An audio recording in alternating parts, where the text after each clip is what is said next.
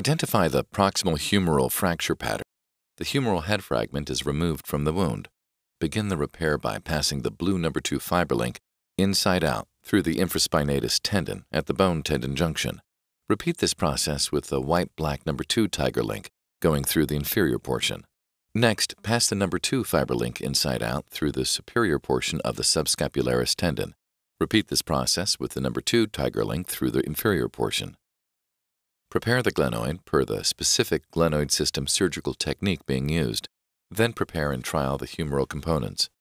Remove the humeral trials and drill two holes in the lateral side of the bicipital groove with the 2.0 mm drill bit. Drill the holes 1 to 2 centimeters distal to the humeral shaft fracture line.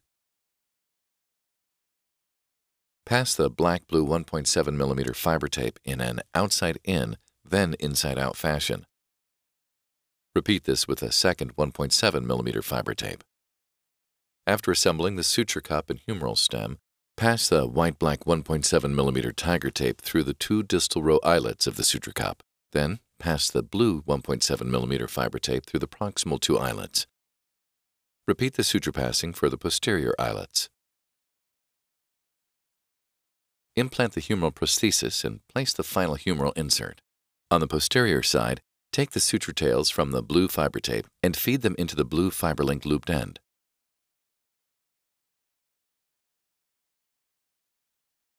Repeat the previous steps for the tiger tape and tiger link. Then shuttle the sutures through the greater tuberosity. Reduce the shoulder. On the anterior side, take the suture tails from the blue fiber tape and feed them into the blue fiber link looped end. Repeat the previous steps for the tiger tape and tiger link. Shuttle the suture through the subscapularis.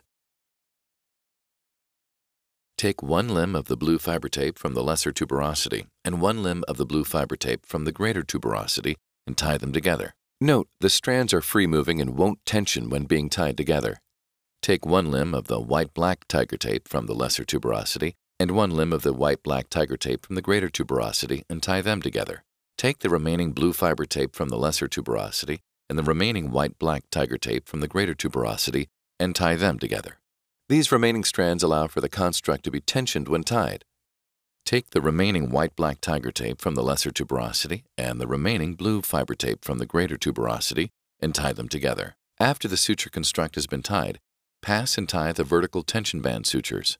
Starting with the anterior hole, Pass one limb of the black-blue fiber tape up through the superior aspect of the subscapularis and then through the superior aspect of the infraspinatus.